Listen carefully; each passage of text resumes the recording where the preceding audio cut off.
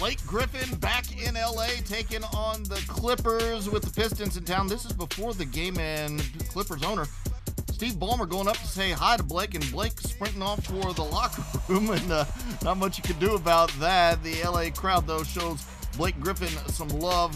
First, it's another former Clipper, Reggie Bullock, setting up Blake Griffin for the three pointer there. And once Blake started going, it was hard to get him to stop. A little up and under move inside. Then it's Blake Griffin pulling up for three when he's left with some space, and even when he's not left with some space. How about the step back three? This is cash as well. 26 points in the first half for Blake Griffin, and unsurprisingly, Detroit up by 11. Third quarter, Reggie Jackson finds a trailing Blake Griffin he goes to the rack and finishes with the strong jam.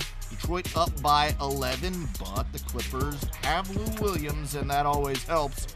Little floater goes down, then Lou sets up Montrezl Harrell, who had 21 points, 9 rebounds, 6 assists in the game, and it's a 5 point game. Blake Griffin, corner, step back 3, money, 44 points, 8 rebounds, 5 assists, 3 steals in his return. Detroit up by 7 with just over 8 minutes to go.